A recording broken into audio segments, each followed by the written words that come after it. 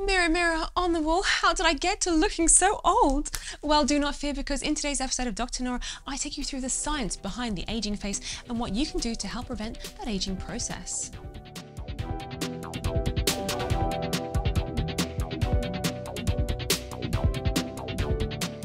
Every day we are constantly aging thanks to a number of things that are going on in our bodies.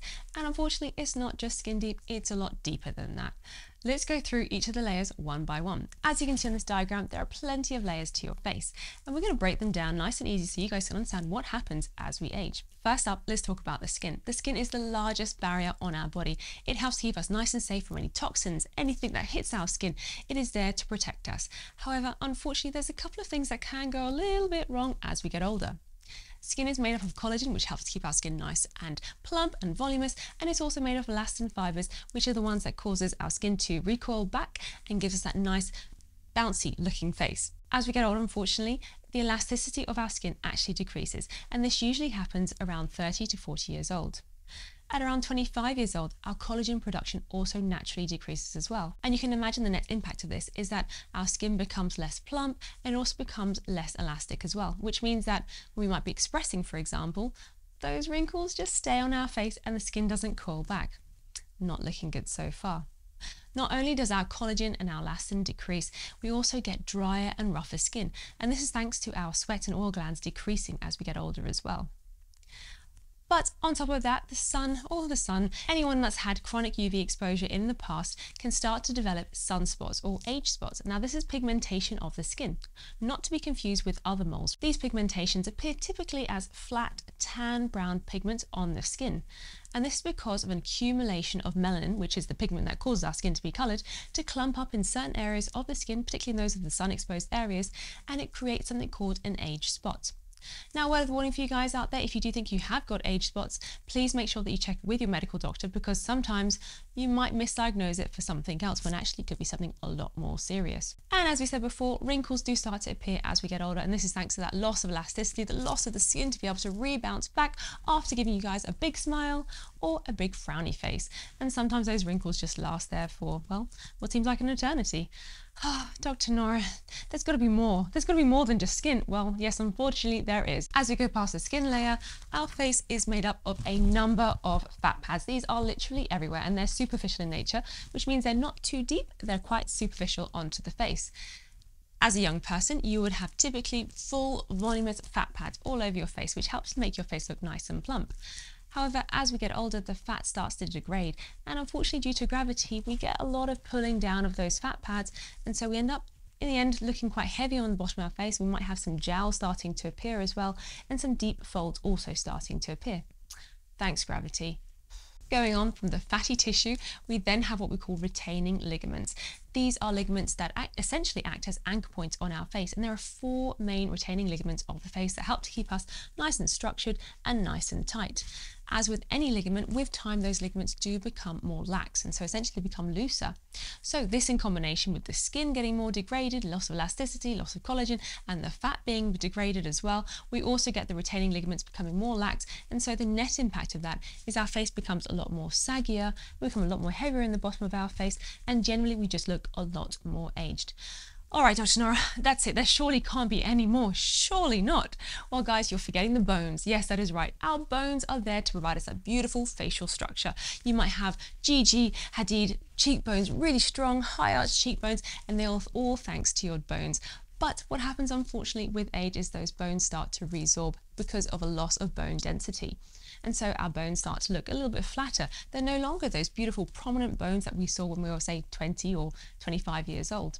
And even more so, there are certain areas of the face that start to look a little bit more involuted. For example, the orbits of the eyes tend to look a little bit more involuted. So if you think about, for example, your elderly grandma, you might notice that she has a sunken appearance of the eyes.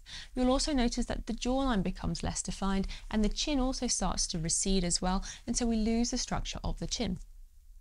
But it's not all bad news because the forehead, the mouth, and the nose become more prominent. This could or could not be a good thing, depending on how you view life. So there we have the roundup of the different layers of the face and how they age. But what are the modifiable factors that you guys can do at home to make sure you don't accelerate that aging process? We know certainly there are some things in life that will certainly accelerate your aging process, and these can be as follows. Number one, smoking. Oh, guys, studies have shown that smoking actually has a number of impacts on the aging face. For example, we know that with smoking, we decrease the amount of collagen production, which means that plumpness to our face is decreased. But not only that, nicotine actually decreases the skin thickness, which in turn makes the skin less elastic, and so therefore you don't get that plumpness of the face, you don't get that elasticity recoil, and you end up with more wrinkles. Why would you smoke? On a side note, if you guys are struggling to quit smoking, be sure to watch my video on how to quit smoking effectively in the link in the description below. Okay, smoking, fine, maybe I can deal with that. But what else is there? Well, alcohol. Alcohol can certainly cause our faces to age prematurely. Now, this is because alcohol makes our skin very dehydrated, and so it makes it very dry, and therefore it appears more saggy as well. Next up, we have the sun. Living in Australia, the UV is always at an all-time high. As we mentioned earlier, age spots can certainly arise if you are somebody who does like sunbathing, for example, if you've got chronic UV exposure.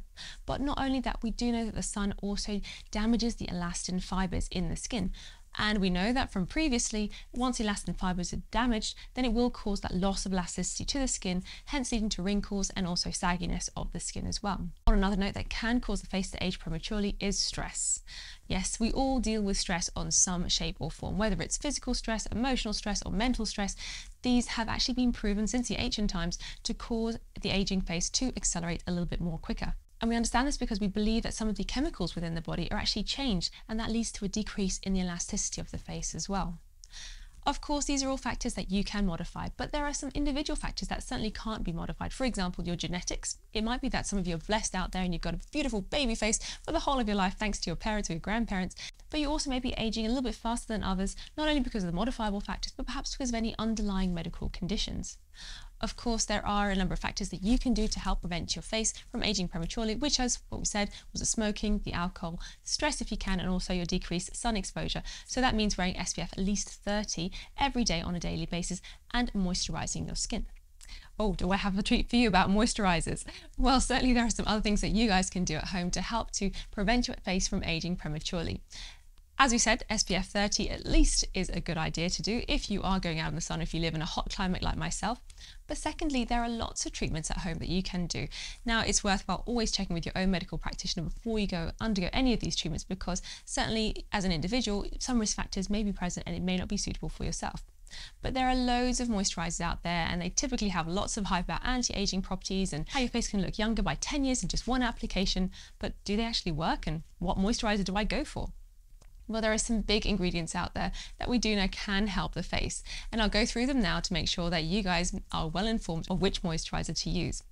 First up, vitamin E. Vitamin E is an antioxidant and it also helps to strengthen the skin barrier.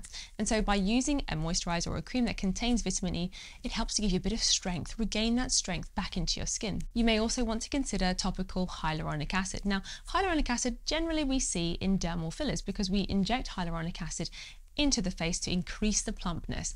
And naturally, we do have hyaluronic acid in our bodies, but as I mentioned before, things start to decrease, and so the plumpness of our skin also decreases as well. By applying some topical hyaluronic acid, you may help to reduce the appearance of wrinkles, but remember it won't work as effectively in plumping the skin as, say, for example, a dermal filler. Now, just to give you an idea of dermal fillers, so over here I've got a beautiful before and after picture, which was generated by an application called Treatment Pad, which allows me to provide my patients a really instantaneous before and after picture accurately and a touch of a button. But over here we can see that there is a before picture and an after picture. On the full picture, we can see that the, the upper lip is very thin, it's not very plump, but once we've injected some dermal filler into the lip, it looks a lot more voluminous. Now, typically, if you were to put a hyaluronic acid cream onto your face, you won't get the same appearances as you would with an injected hyaluronic acid.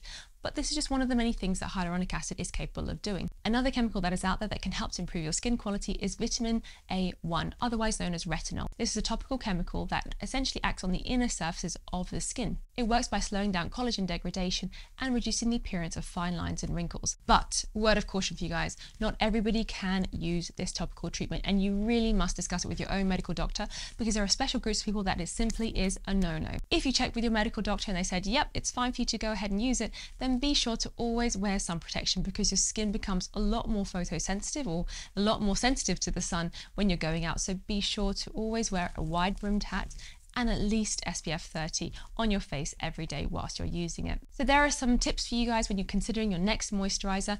What else can be done? Well, there certainly are some other in-home treatments that you can do, such as IPL or some basic laser treatments. But again, these treatments must really be consulted with your own adequately qualified healthcare professional to make sure it's appropriate for you. Aside from all of the in-home treatment options that you can consider, there are also some clinic options that you might want to consider as well. Not only do we talk about the dermal fillers, which can be used to plump up the face or the lips, for example, or just to rejuvenate the face a little bit to help reduce the signs of aging, but we can also use anti-wrinkle injections into the face, which will help to reduce the lines and appearances of the wrinkles. For example, here I've got my lovely model who has got before some really deep furrows on the forehead and then the after with some anti-wrinkle injections. Those, those furrows and those expressive lines have gone away as if it was airbrushed, which is quite a good result if I must say so myself. But remember guys, these treatments do carry risks and it is super important for you to speak with an adequately trained healthcare professional to make sure it is suitable for yourself before embarking on any such treatments. So there you have it guys, a quick roundup of how the face ages looking through all of the layers of the face, what you can do at home, and also what can be offered in the clinic as well. As always, I hope you found this video useful, and if you have any questions or comments or tips you would like to share about your own anti-aging process, please leave a comment in the comment section below. And for now, take care and stay healthy.